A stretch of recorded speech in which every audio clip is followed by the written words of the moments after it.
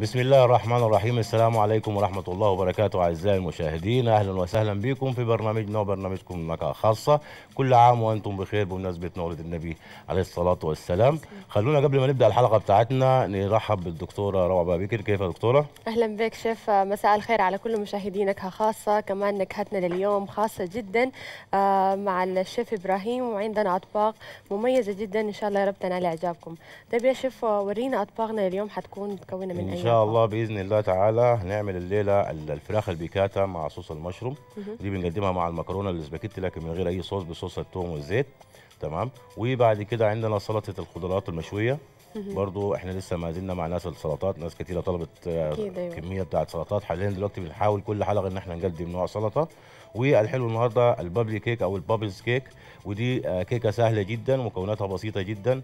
هي أشبه شوية للبسكوت أكتر من الكيك لكن إن شاء الله بإذن الله حاجاتنا بتاعت الليلة تعجب السادة المشاهدين. إن شاء الله. طيب يا شيف حنبدا بأي طبق في الأطباق؟ هنبدأ الأول بطبق الفراخ البيكاتا لكن خلونا قبل ما نبدأ نمشي نشوف المقادير ونرجع لكم تاني.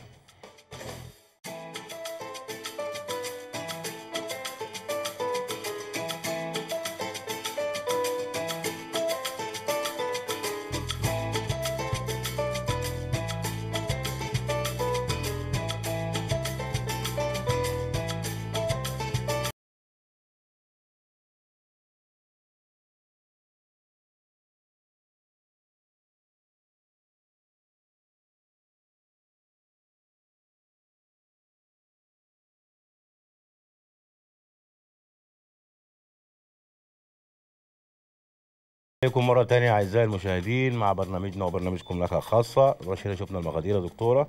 طريقة سهلة جدا إحنا بنستخدم صدور فراخ خليناها من الجلد ومن العظم بالطريقة دي تمام؟ وهنبتدي نبطها يعني بال ندق عليها كده دقة خفيفة بالكيس.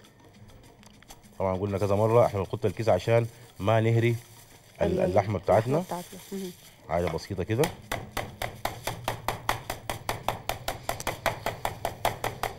الطريقة دي. okay. طبق البيكاتا ده يا دكتورة طبق إيطالي. عشان كده النهارده أنا مطلع معاه مكرونة سباكيتي. مستحسن يعني من الحاجات اللي بتطلع معاهم المكرونة السباكيتي. بيستوي على مرحلتين المرحلة الأولى إن إحنا بنشوحه في الطاوة في الزيت وبعد كده بنرصه وندخله الفرن يقعد بتاع آه 20 دقيقة في الفرن. وبنعمل له الصوص بتاعه بالجنبة. الليلة مطلع معاه صوص المشروم. عملناه تاني بنعيده للسادة المشاهدين. آه ما بتاخذ زمن كثير لأنه أصلا آه ما عارفه بحس إنه كل ما تدوق اللحمة كل ما ما بتحتاج زمن أكثر في السوا. بالظبط كده. ما هي دي الفكرة إن إحنا بندلق الفراخ علشان المسام الأنسجة بتاعتها تتفتت شوية وتكون سهلة في عملية التسوية. الطريقة دي. كده إحنا كملنا الصدور بتاعتنا. بعد كده بنبتدي نتبلهم. وزي ما قلنا كل مرة دايما يا جماعة نراعي الفراخ لازم تاخد زمانها في ال- ال- الثلاجه أيوة. يعني إحنا الفراخ دي عشان النهارده مدقوقه ما بتحتاج كتير ممكن نص ساعة. أوكي؟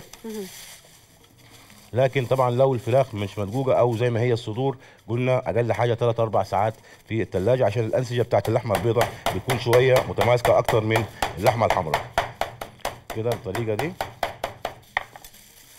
أوكي. واخر قطعة معانا أهي. يبقى إحنا كده خلصنا الجزء الأول من وصفة الليلة.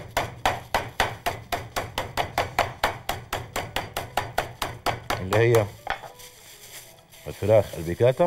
كده أنا جهزت قطع الجداد. بتاعتي. بعد كده ببتدي أجهز الصوص اللي أنا هتبل فيه وأجهز ال- ال- الجريل اللي أنا هعمل فيها. اسخنها شوية. في أي طوة في البيت عادي جدا. دي مية بصل يعني بشرت البصل وخدت الميه بتاعته. بتاعته. تمام. حوالي زي ما شفنا 100 مللي في المقادير. okay؟ وبديها شوية زعتر جاف. وطبعا المطبخ الإيطالي لازم يكون موجود فيه الزعتر الزعتر. الجاف. وشوية ملح وفلفل.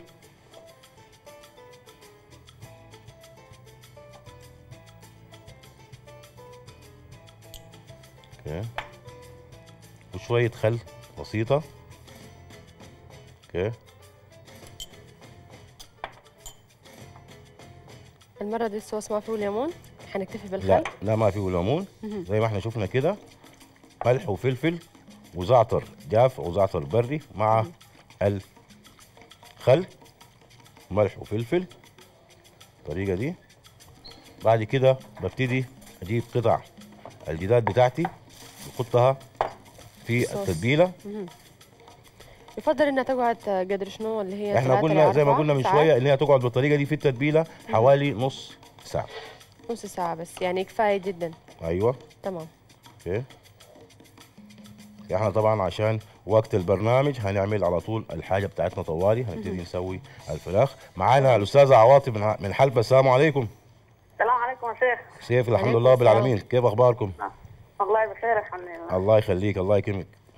اتفضل. أستاذ بسأل من والله منورين الشاشة أول شيء. الله شكراً يخليك كتير. أهلا وسهلا بيك طيب ده بسأل من المقادير بتاعت المشبك. دايما بيكون ملصق معايا في ناحية المقطع بتاع المشبك يعني. طيب يا دكتورة إحنا طبعا الحاجات بتاعتنا كلها المقادير كلها نازلة. أيوه. نعم. تمام.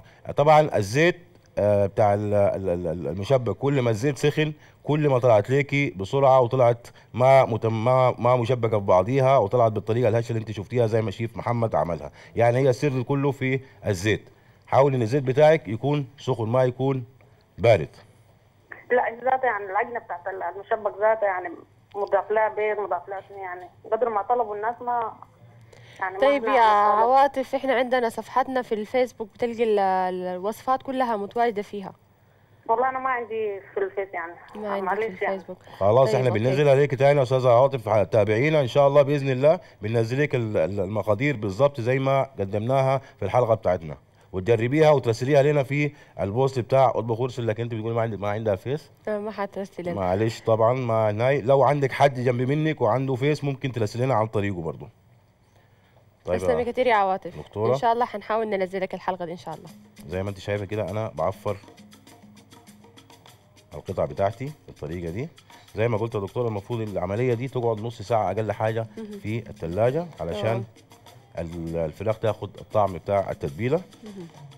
تاني بعيد للي لسه واصل التتبيلة دي عبارة عن موية بتاعت بصل وخل وملح وفلفل وزعتر بري وحطينا فيها صدور الفراخ بعد ما دقيناها شوية كده عشان نفتت الأنسجة بتاعتها وتساعدنا في عملية التسوية. الطريقة دي يا دكتورة كده. okay. كده يبقى أنا جهزت الجزء الأول من الصحن بتاعي. بعد كده يا دكتورة بديها طبعا يا. شيف ال- الزعتر في دراسات مؤخرا بتقول إنه هو مفيد لغذاء العقل آه بالذات للطلبة اللي بيكون امتحاناتهم قربت. ممكن يتناولوا الوجبات بتاعتهم يحطوا فيها نسبة بسيطة من الزعتر أصلا طعمه جميل آه بيساعدك إنك تستذكر الحاجات أثناء الامتحان وبيقوي الذاكرة إن شاء الله. طيب يا دكتورة إحنا بنحط شوية زيت؟ في زي ما قلت يعني ممكن طاوه لو ما عندي جريل في طاوه وبناخدهم الطريقة دي كده. لكن أتأكد تماما إن أنا ما أكتر عملية التسوية يا دكتورة لأن أنا لسه زي ما قلت احطهم في الفرن. في الفرن تاني. أنا بس هلفهم لفة كده وبعد كده اشتغل تمام. كمان يا شيف في آه، خرافة بتقول إنه مفروض آه، ال- الإنسان لو حاب إنه ينقص وزنه من الساعة ستة ما يبدأ يتناول أي حاجة بعد كده يمتنع عن الأكل. آه، فأنا بقول لكم إنه الحاجة دي ما صحيحة. هي أي نعم إنها هي بتنقص ال- ال- الوزن لكن أصلا من المفترض إنه قبل ثلاثة ساعات من النوم أنت ما تكون تناولت حاجة عشان جسمك يكون يقدر يحرق ال- الكمية اللي أنت دخلتها. تاني خرافة بتقول آه كل ما قللت النسبة أو قللت الأكل بتاعك كتير. كل ما أنت وزنك نقص. لا أنا بقول لكم إنه أنت تقلل من الوجبات الدسمة فقط وتكتر من الوجبات اللي بتكون خفيفة. أغل- غالبيتها بتكون آه فيتامينات أو خضروات وفواكه وتكون خمسة وجبات في اليوم لفترات متباعدة وتكون يعني حجمها مناسب معاك. كده حاليا يعني كده أنت وزنك حينقص بدون ما أنت تشعر بدون ما تحسس روحك بأنه أنت جيعان لأنه كل ما حسست روحك إنك أنت جيعان كل ما ترجع حترجع وزنك زيادة بأكتر. تمام يا دكتورة؟ إحنا كده بنبتدي نحمر في القطع بتاعت الدجاج قلت أنا ما بسويها أنا بس المسام. الدقيق بتاعي. وريها برضو الساده المشاهدين عشان يكونوا متابعين معانا كويس. بالطريقة دي. أنا زي ما أنت شفت كده يا دكتورة بقفل الطبقة بتاعت الدقيق اللي أنا عملتها. علشان بعد كده هرصها وأدخلها الفرن. كده يا دكتورة يبقى إحنا جهزنا الجزء الأساسي في ال- ال- ال- ال- الطبخة بتاعتنا اللي هي الفراخ. طبعا بعد كده بنشتغل في الصوص بعد أيوة. ما ندخل الفراخ في الفرن والفراخ بتاخد التسوية بتاعتها في الفرن بنبتدي نجهز في الصوص. تمام. يبقى الصينية بتاعتنا. هي ال- العامل دسامة في الوجبة بتاعت الفراخ دي آه ل- ل- لأنها هي معمولة بالدقيق وفي نفس الوقت بتاخد تسوية شوية بالزيت أول قبل ما تخش الفرن. آه ده غير الصوص لسه إحنا ما عارفين محتويات الصوص حتكون شنو. آه ده اللي. بيخلي أيوة ده اللي بيخلي إنه ال- الوجبة تكون دسمة. طبعا إحنا داخلين على فصل الشتاء يا دكتورة لازم الوجبات أيوة. والجسم بيكون محتاج. معانا تليفون. مم. الاستاذه ليلى. من كوستي السلام. عليكم. ألو. وعليكم السلام ورحمة. كيف يا ليلى؟ كويسة؟ إزيك يا شيخ إبراهيم؟ الله يخليكي. كيف الأخبار؟ كل سنة تمام، طيبين. وانت طيب. الله يخليك. اتفضلي. تسلم ازيك يا دكتورة روعة؟ كيف يا ليلى؟ كيف انت؟ كويسة؟ كل سنة وانت طيبة. وانت طيبة. كيف انت؟ أخبارك شنو؟ تمام الحمد لله. الحمد لله. الله يسلمك. آه، الله يسلمك. اتفضلي يا ليلى. آه، طيب يا شيخ إبراهيم. أيوه. آه، بسأل من الجيلاتين. الجيلاتين. آه، تمام. إذا ما لقيته ممكن في بديل له ولا ممكن أعمله في البيت؟ شوفي ال- الجيلاتين طبعا هو آه ليه طريقة بتتعمل في البيت تمام؟ لكن انت لو ما لقيتي الجيلاتين ممكن تستخدمي النشا كربط مكان الجيلاتين. يعني إحنا في الوصفات اللي بيكون بتحتاج جيلاتين ودارين نستغنى عن الجيلاتين بيكون ال- ال- البديل ليه النشا. لأن الجيلاتين ده بيطلع من عدة أشياء. في طبعا آه بلاد بتطلعوا من الجلد بتاع أو الدهن بتاع السمك من الجلد بتاع السمك. في بلاد تانية بيطلعوه من الحوافر ويمكن ناس كثيره تستغرب من القصة دي من الحوافر بتاعه الخيل. يعني من الحوافر بتاعه الخيل بيطلع الجيلاتين. وفي ناس ممكن يطلعوه من شفت انت الكوارع؟ لو انت تستخدم الجيلاتين للأكل السخن لكن لو بتاكل الحلا- الحلويات طبعا أنصحك يا إما جيلاتين البودر يا إما جيلاتين اللي هو ال- ال- الورق لو ما لقيتيه تستخدم مكانه النشا. لكن إحنا في الأكل السخن لو عايزين نستخدم الجيلاتين ممكن من زي ما بنقول الكوارع اللي هي ال- ال- ال- ال- الكراع بتاعت ال- البقر بتتسلق فترة طويلة بيكون فيها نسبة لو أنت تاكل الكوارع بتحس كده بان هي بتلزق بتطلع نسبة بتاع الجيلاتين. طبعا المصانع بتستخدمها وبتعالجها آه، معالجة كيميائية لغاية ما بتطلع منها الجيلاتين اللي إحنا بنشوفه اللي إحنا بنشتغل بيه يعني ممكن نستعمل النشا بس مش؟ النشا. لكن أنا بوعدك إن شاء الله بإذن الله برضو أنا بفتش ليكي. لو لقيت لك الطريقة سهلة إنها تتعمل في البيت أنا بعملها قدام منك على قدام الكاميرا إن شاء الله بإذن الله. أيوه. تحت أمرك. تسلمي يا ليلى. ثاني برضه اهو يمكن الاتصال عودة الاتصال علينا على أرقام تواصلنا الظاهرة أسفل الشاشة. طبعا يا دكتورة زي ما أنت شايفة كده إحنا جهزنا قطع. الجداد بتاعتنا أوكي الفيلم بكده يبقى إحنا جهزنا زي ما قلت الوصفة بتاعتنا يا دكتورة. هنبتدي ندخل الفراخ بتاعتنا في ال- الفرن. بتكمل مم. التسوية بتاعتها بالراحة تمام. في الفرن. بعد كده بنبتدي نعمل الصوص. نلفها بالسيلفر أنا ما داير اللون بتاعها ياخد لون الفرن. تمام. الطريقة دي.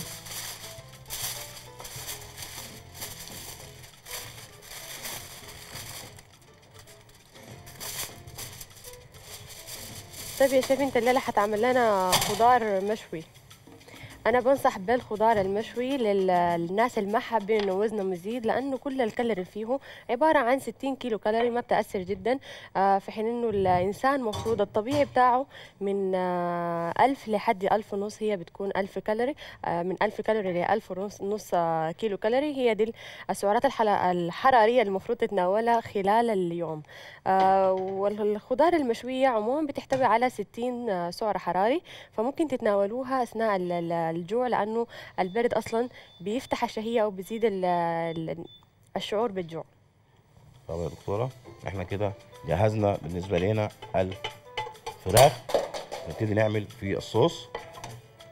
الصوص زي ما قلت عبارة عن مشروم يا دكتورة. المشروم ده طبعا لو ما متوفر يا جماعة ممكن بنفس الطريقة اللي أنا هشتغل بيها من غير استخدام المشروم بدي برضه بيدي نفس الطعم وبيدي نفس ال taste للوجبة. okay؟ الصوص بتاعنا بيعتمد أول حاجة بنحط له شوية آه زيت بناخد البصلة آه بنفرمها كده زي ما أنا فارمها كده وببتدي أشتغل في الصوص بتاعي. تاني بأكد للسادة المشاهدين بصل مفروم عندنا مشروم توم دقيق آه إحنا كاتبين كريمة طهي. أنا الليلة ما لقيت كريمة طهي بالمناسبة في السوق. جبت علبة بتاعت قشطة وفكيتها بشوية لبن. بتدي نفس نفس. نفس نفس أيوة. النتيجة ونفس الشغل بالمناسبه يعني الناس ما تقول إحنا ما عندنا كريمه طهي أو المنطقة اللي إحنا فيها ما فيها كريمه طهي إحنا لو دايرين نستخدم كريمه طهي إحنا بنستخدم كريمه طهي عشان اكسر اللذعة ال- الصوص وفي نفس الوقت بتدي طعم بصراحة سمح فلو ما عندي كريمه طهي ممكن علبة بتاعت القشطة العادية الموجودة في المحلات كلها بفكها بشوية لبن بالطريقة دي بتديني نفس الشغل بتاع كريمة الطهي. طهي تمام. okay؟ كمان يا شيف في كثير من الناس بيكونوا بيعانوا من الحساسيات من المشروم فيا ريت الناس تتأكد أول إنه هي ما عندها حساسية من المشروم حتى بعد ذاك يتناولوه المشروم طبعا يا دكتورة بيجي منه آه، حاجات كتيرة جدا في السوق. طبعا بيجي منه ال fresh اللي هو الطازج وبيجي منه frozen دلوقتي كمان بيجي منه أكياس مجمدة وبيجي منه العلب اللي هو الشكل المتعارف عليه أيوه. آه، في معظم المحلات. تمام؟ واحط البصل بتاعي.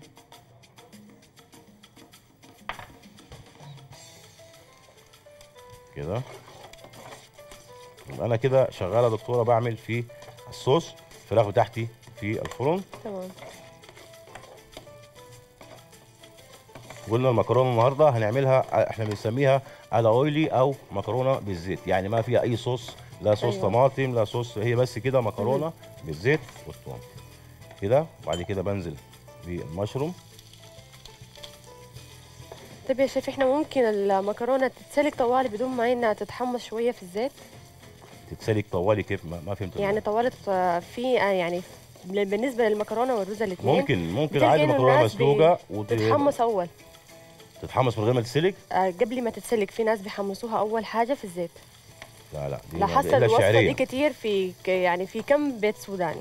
لا الشعرية لكن المكرونة أنا أول مرة أسمع الكلام ده بصراحة. يعني إن أنا بحمص مكرونة قبل ما أسلقها دي أنا ما مرت علي نهائي ممكن الشعرية. آه، مساء الخير عليك يا رانيا. ألو السلام عليكم. وعليكم السلام. وبركاته. كيف الله يخليك. كيف أنت؟ كويسة؟ والله بخير الحمد لله. الحمد لله. تفضلي يا رانيا سامعينك. آه، اولا يعني بشكركم على البرنامج الجميل ده وبشكر شيخ إبراهيم وشيخ محمد. أهلا بجد وسهلا يا بيك. دكتورة روعة. تسلمي كثير بنشكرك على متابعتك. تسلم الله يخليك. سؤالي هو أنا عندي أختي لما تأكل أي حاجة ما بتتهضم لها. حتى عندها؟ درجه الشاي برضه ما بتهضم لها مهم. هي أصلا عندها مشكلة في المعده آه تقريبا عندها كم مشكلة. آه نوع المشكلة شنو؟ آه قرحة أي نوع؟ والله بس معدة. تمام. طيب آه، عموما الناس اللي بيشتكوا من آلام المعدة أو عندهم آه، المعدة بتاعتهم بتكون ما مستقرة دايما بقول لهم إنه ال- ال- الوجبات الدهنية كتير ما يتناولوها. الحاجات اللي فيها غازات كتيرة زي ال- المشروبات الغازية عموما يبتعدوا يبتعدوا عنها. كمان الحاجات اللي فيها كافيين بنسبة عالية كمان ما يتناولوها زي القهوة والشاي كمان برضو ما بينفع معاهم لأنه الحاجة دي بتأثر على المعدة ايا كان نوع المرض اللي عندها في المعدة. فدايما تتناول الأكل بتاعها يكون مسلوق وتحاول ما يعني ما تدي المعدة بتاعتها كمية كبيرة تدي شوية وجبات صغيرة صغيرة عشان ما تتعب. طيب يا دكتور هي المشكلة إنه أي أكل تخطه إلا تاكل شطة معه ما بتعرف تاكل خلاف الشطة. أها. أصلا هي عندها مشكلة في المعدة فما مفروض أصلا تتناول شطة. ومن الحاجات اللي أنا نسيت أذكرها لك انه المفروض آه، تمتنع منعا باتا من ال- البهارات الحارة الفلفل أو الشطة. ما بينفعوا معها. حتى جميع أنواع البهارات المفروض تتناول منها حاجات بسيطة ذرات ما زي الزول العادي. فدي الحاجة اللي حتكون ما بتنفع معاها طيب السؤال الثاني لشيخ إبراهيم. أهلا وسهلا بك أستاذ الله. يا شيف إبراهيم بس عايزين تقول لنا طريقة الكاتشب طريقة الكاتشب. الكاتشب. okay أيوة. طبعا جدا حاضر. الكاتشب عبارة عن سكر وخل وموية وصلصة تمام وعصير ليمون وملح وفلفل. ولو انت عايزة تديله آه، حاجة spicy ممكن الصوص اللي هو ال hot sauce الموجود في في السوق. بنعمل شنو؟ على النار بنحط السكر مع الكاتشب مع سوري مع الصلصة مع ال- الموية مع الخل بنقلبهم مع بعض كويس. بعد كده بنربط معلقتين بتوع نشا. إحنا بنستخدم كوباية كوباية كوباية. يعني مقدار السكر زي مقدار الصلصة زي مقدار ال- الموية. وبعد كده معلقتين خل آه، نشا نربطهم مع بعض وبننزل بيهم على الكاتشب وفي الآخر بنحط آه، الملح والفلفل بتاعنا. وبنسيبه يقصر على النار لغاية ما يبتدي يدينا الشكل النهائي بتاع الكاتشب الطريقة دي بتقعد في البيت ما أكثر من أسبوع يعني ممكن تقعد في الثلاجه لغاية أسبوع دكتور؟ تسلمي كثير يا رانيا طب يا دكتورة إحنا كده صوص المشروم بدأ يجهز يعني اديله بس شوية موية صغيرين. و زي ما قلت يا جماعة عشان ما في زول يجي يقول إحنا ما عندنا كريمة أنا زي ما قلت استخدمت القشطة العادية اديتها شوية لبن بسيط واستخدمتها ك كريمة طهي. كريمة طهي. طب يا دكتورة إحنا كده لغاية ما الصوص يقفل على النار بنمشي فاصل ونرجع لكم تاني. ورجعنا لكم مرة تانية أعزائي المشاهدين مع برنامجنا وبرنامجكم لك خاصة قبل الفاصل يا دكتورة عملنا التشيكن بيكاتا. ورينا الناس إن كيف الفراخ بتتجهز كيف إنها بتخش الأول أيوة. بنحمرها ونخش ندخلها الفرن وبعد كده جهزنا ال- الصوص صوص المشروم. وآخر حاجة بنجهز المكرونة علشان يبقى كده الطبق بتاعنا جاهز المكرونة إحنا بنحط زبدة أو زيت زي ما إحنا دايرين. أنا نحط حتة زبدة وشوية زيت يعني طريقتها سهلة جدا ما فيها أي تعقيدات. زي ما قلنا قبل كده المكرونة ممكن تتسلق قبالها زي ما أنا سالقها كده. وطريقه سهلة إن أنا أسخنها إن أنا بحطها في المصفى وشويه موية. سخنة. أنت قبل الفصل الدكتوره بتقولي الناس بتحمص المكرونة قبل ما تتسلق. المكرونة والرز.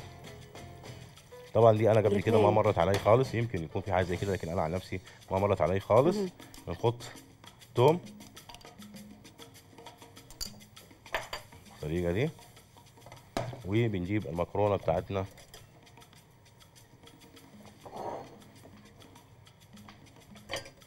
وبنحطها كده.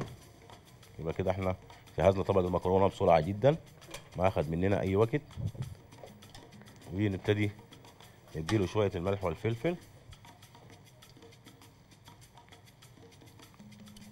وبكده أول وجبة من وجبات الليلة اللي هي تعتبر جاهزة؟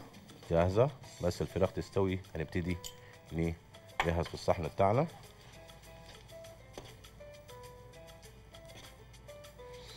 طبعا يا شيف في كتير من الناس بيسألوا إنه كيف أنا لما أكون نايم جسمي بيكون بيحرق سعرات حرارية؟ أيوه أنت نايم وما بتتحرك بس أعضائك الداخلية بتكون شغالة. فطول ما هي شغالة طول ما هي بتحتاج لطاقة آه فجسمك بيكون already شغال وأنت نايم.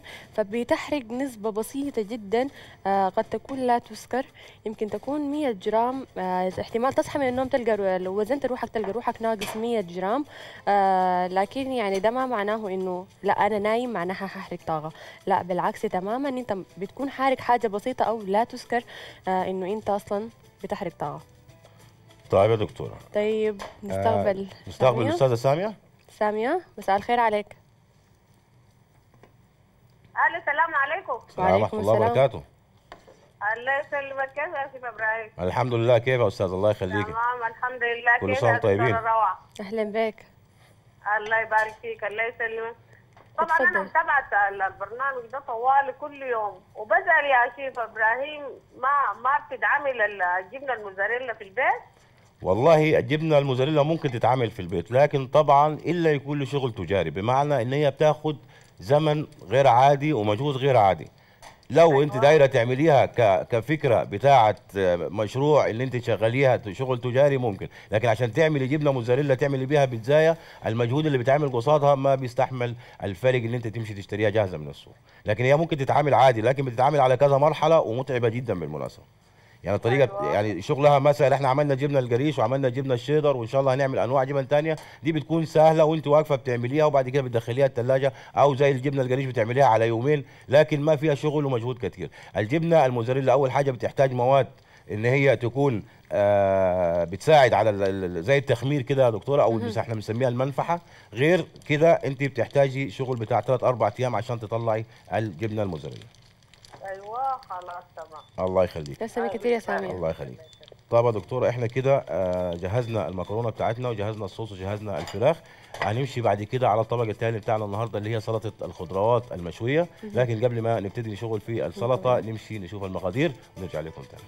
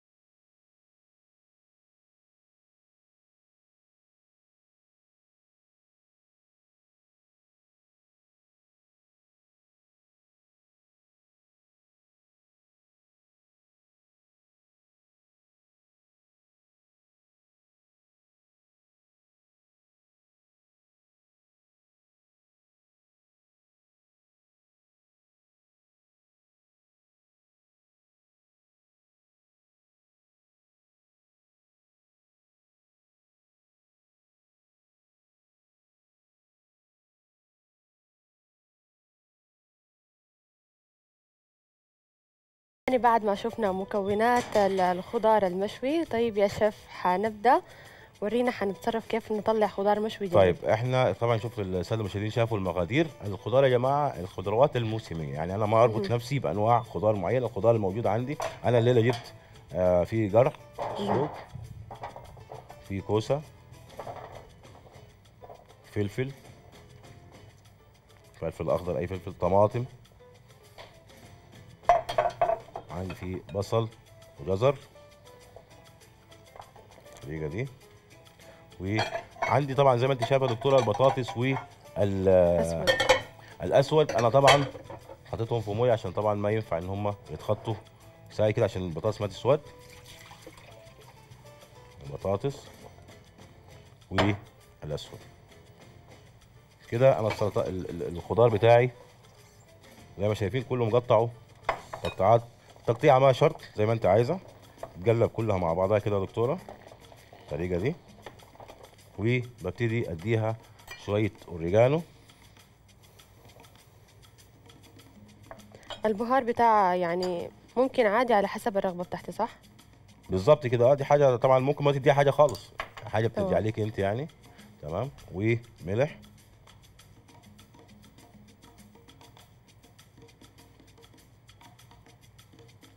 وفلفل.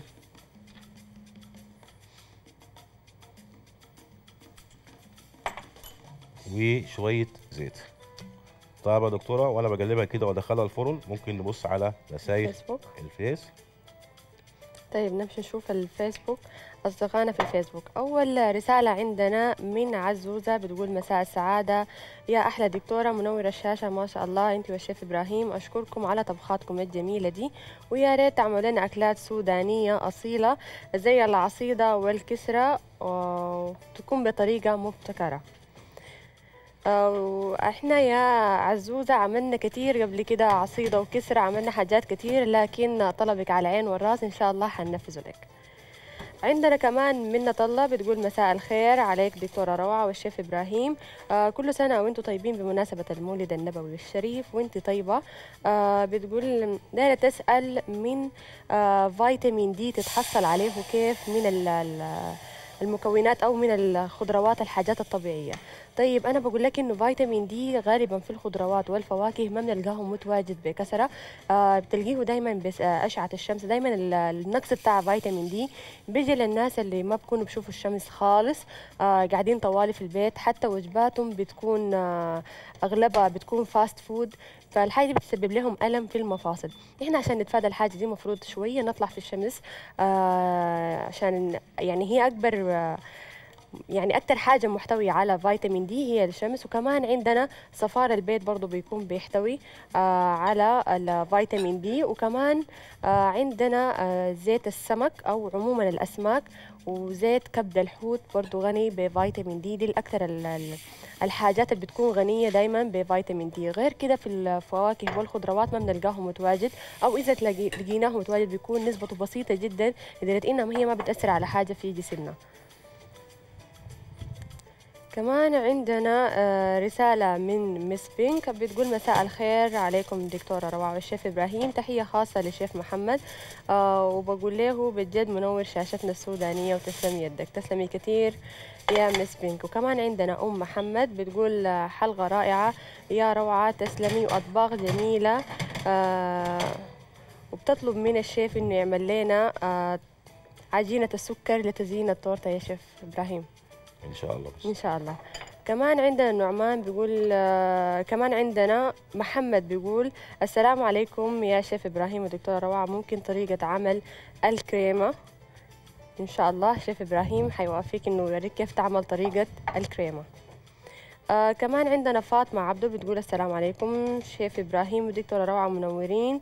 آه على طول منورين على طول. تسلمي كثير. طلبت كثير عمل طريقة خلية النحل. خلية تركي النحل الليلة الكريمة. النهارده إن شاء الله بإذن. الله الطبق بتاع الحلو قريب جدا من طريقة عمل خلية النحل مع أيوة. اختلاف المقادير طبعا لكن إن شاء الله بإذن الله بنقعدها إن إحنا بنعمله ليه تمام. كمان يا شيف آه، برضو كانوا دايرين طريقة عمل الكريمة. طريقة عمل الكريمة. أنا هسي أنهي كريمة؟ اللي هو طبعا الناس دايما بتقول كريمة كتير أيوة. وتسكت وكل حلقة طبعا إحنا بنقول نفس الكلام يا جماعة في أنواع كريمة كتيرة جدا. في كريم شانتيه وفي الكريم الزبدة وفي الكريم اللباتسري اللي إحنا عملناه. أو البستري كريم.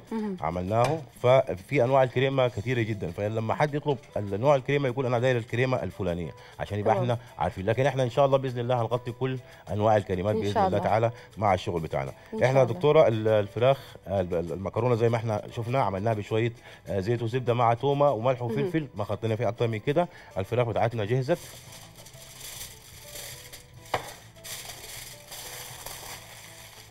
وهنبتدي نرصها على المكرونة بالطريقة دي. كده أول طبق عندنا حاليا بقى جاهز. بالظبط كده دكتورة. وكده يبقى أنا جهزت الطبق الأول. بعد كده بيبقى عندي الصوص.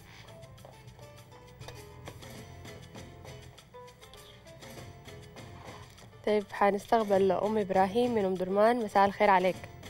السلام عليكم. وعليكم السلام. أهلا وعليكم بك. السلام ورحمة الله وبركاته. السلام عليكم شيف إبراهيم. كيف؟ الله يخليكي. والله طبعا أنا صديقة للبرنامج. أهلا وسهلا بك نتشرف الشرف إن أنت. صديقتنا.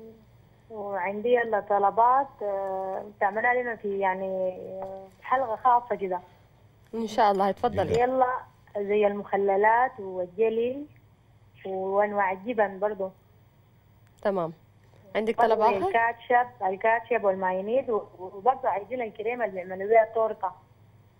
العجينة السكر.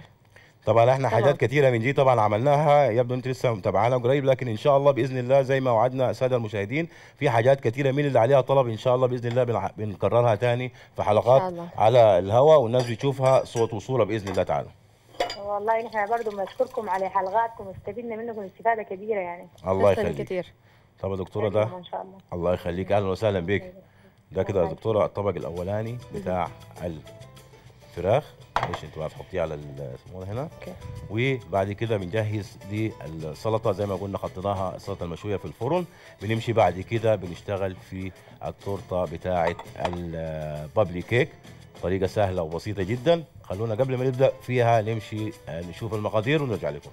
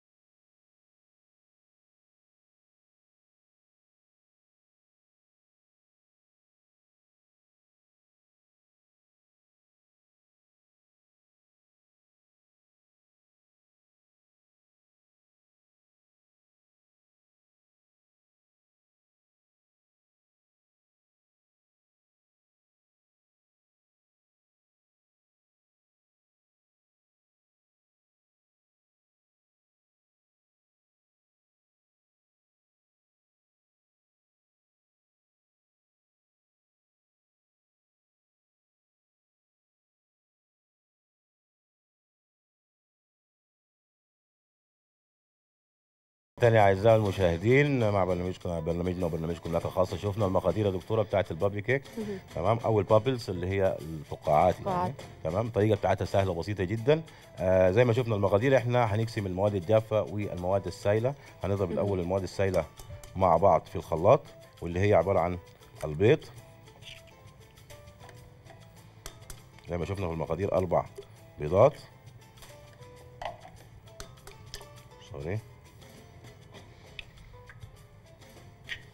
يا دكتوره وهنحط بقية المكونات اللي هي عندنا. طبعا نقول بيض يبقى فانيليا أوتوماتيك مع بعض على طول وعندنا ال- ال baking powder واللبن البودرة والزيت اللبن السائل. آه، انت عاملهم الاثنين مع بعض ليه؟ اللي هو اللبن البودرة واللبن الحليب العادي طيب طبعا ناس كتيرة جدا عارفة إن اللبن السائل الفايدة الغذائية بتاعته بتكون أعلى أنت كده عارفة الموضوع ده أيوة. لكن طبعا في اللبن البودرة بيعمل لي قوام بيساعد لي إن ال- ال- الكيكة بتاعتي أنا زي ما قلت في أول الحلقة إن الكيكة دي ما كيكة هشة مهم. ما زي الكيكة العادية أيوة. الكيكة دي بتكون شوية قريبة زي البسكويت. يعني أكتر منها من البسكويت أكتر منها إنها تكون كيكة طبعاً. هشة فاللبن البودرة مع اللبن السائل بيساعدني في عملية الربط دي إن أنا عايز العجينة. تكون تقيله ما دايرها عجينة خفيفة زي ال sponge cake أو طبعاً. زي ال English cake ال English cake اللي إحنا عملناه بنضرب كل المقادير كده مع بعض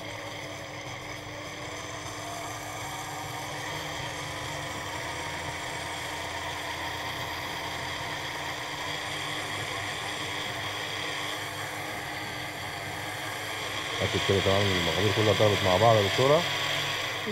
أوكي بعد كده أنا عندي الدقيق زي ما قلنا في في أول حلقة الدقيق ده أنا قاسمه عندي كوبايتين دقيق عاديين وكوبايتين دقيق إلا ملعقتين بحط من بدل كل ملعقة وملعقة كاكاو عشان أنا عايز أعمل عجينة تمام. بنية وعجينة بيضاء ممكن أعمل العجينة كلها بنية وممكن أعمل العجينة كلها بيضاء. حسب. حسب الرغبة يعني تمام فبعمل شنو باخد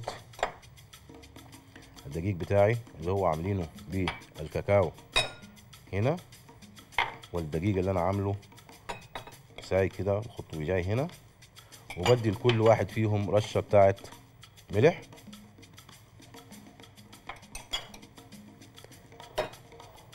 الطريقة دي يا دكتورة. رشة ملح. زي ما قلت تاني يا دكتورة أنا داير العجينة يابسة ما دايرها تكون قريبة لعجينة البسكويت بالظبط كده. واجيب المقدار بتاعي. ده أنا برضو بقسمه على الاثنين ببتدي أعجن في الكمية الأولى.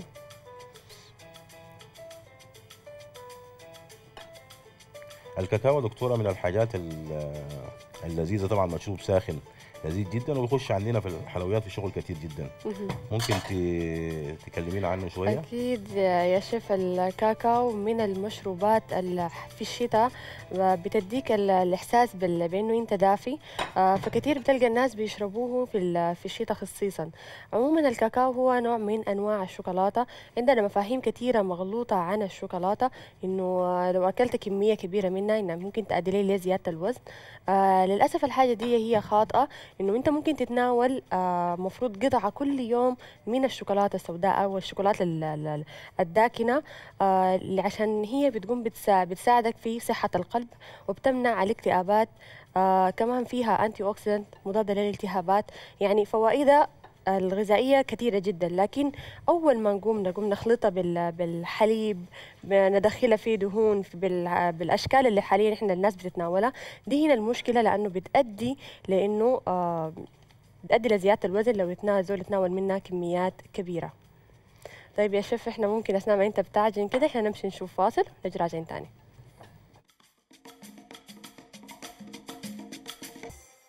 ورجعنا لكم مرة تانية أعزائي المشاهدين مع برنامجنا وبرنامجكم لك خاصة قبل الفاصل. كنا شغالين في طبق ال- البابلي كيك هسي السلطة بتاعت الخضار بتاعتنا ماشية كويس. بس عين عليها كده ونشوف الحاصل شنو. طب يا دكتورة إحنا جهزنا العجينة. معلش اعذروني بقى لازم أشتغل بيدي لأن العجينة دي. ما بتقدري إن انت تسيطري عليها بالجوانتي طيب شيل حاجاتنا دي هنا. زي ما قلنا يا دكتورة العجينة بتكون شوية متماسكة. ما بتكون آه، آه، لينه بتكون. عجينة متماسكة. متماسكة. تمام؟ زي ما قلنا عملنا الشوكولاتة وعملنا اللي هي بالكاكاو وعملنا البيضة. يبقى عندنا شوكولاتة عجينة بيضة وعجينة بنية. بنجيب أنا مجهز فورمة.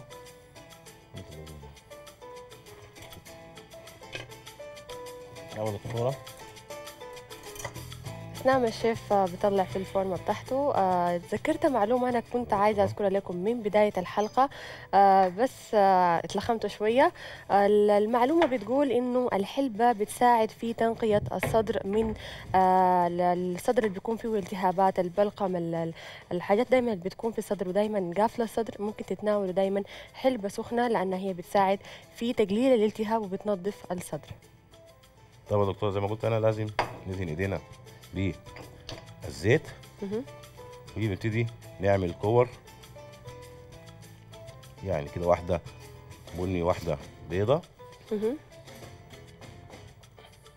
معانا الاستاذه ام سلمى من الشمالية. السلام عليكم.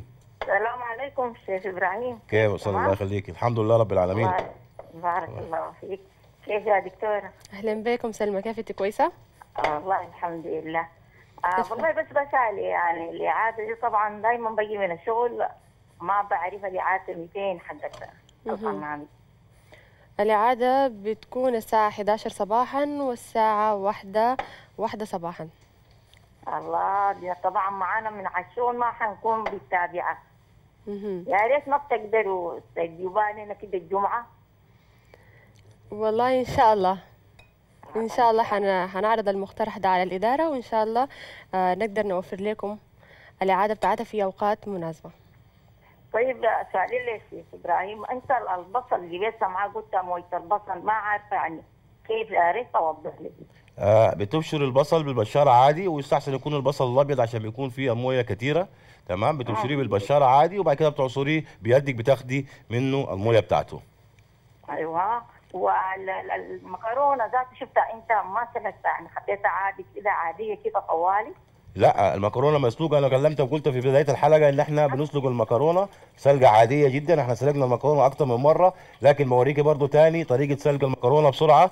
إحنا المكرونة بنحط الميه على النار بنديها شوية زيت وشوية ملح وبعد كده بنحط المكرونة بعد المية ما تغلي. الغطا ما يتغطيش المكرونة لازم المكرونة تبقى مكشوفة وأنت شغالة فيها. بعد كده بحط بعد ما المكرونة ما تستوي بصفيها في المصفى. إحنا ما بنبردها بالميه الباردة إحنا بنسيبها تتهوى وبنديها شوية زيت. وبعد كده بنشتغل بيها زي ما انت شفتي كده. يعني الطريقة بتاعت سلق المكرونة إحنا سلقناها قبل كده لكن إحنا بنوريكي ليها تاني. لا طيب. لا ما شاء الله بارك الله فيكم جزاكم الله خير. تسلمي الله كثير. بارك شكرا الله لك. بص يا دكتور إحنا بنقفل كده زي ما شايفة. واحدة بني واحدة بيضة. بتيجي تعمل الشكل ده. وبعد بتاخد كده فترة طويلة على النار. بتاخد على درجة حرارة 180 بتاخد حوالي 10 أو 15 دقيقة حسب الفرن بتاعك. وزي ما قلنا كذا مرة ونقول كل مرة الفرن الكهرباء بيختلف من الفرن الغاز. تمام. تمام؟ بكده دكتورة يبقى إحنا كملنا العجينة بتاعتنا. حتى طريقتها سهلة جدا. سهلة جدا. طبعا كله. هيستوي مع بعضه وبعد كده هتطلع لنا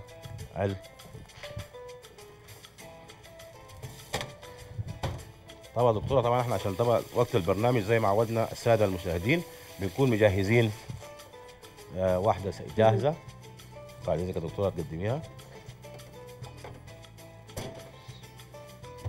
إحنا اديناها جناش الجناش اللي هو عبارة عن شوكولاتة وزبدة وكريمة.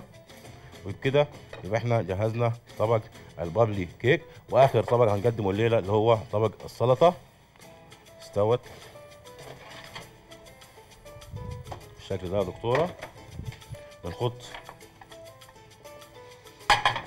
صحن لو سمحت يا دكتورة صحن السلطة. ده بنحط السلطة بتاعتنا. على ورق خس جرجير. يبقى طبق السلطة بتاعنا متكامل بكل الفوائد الغذائية.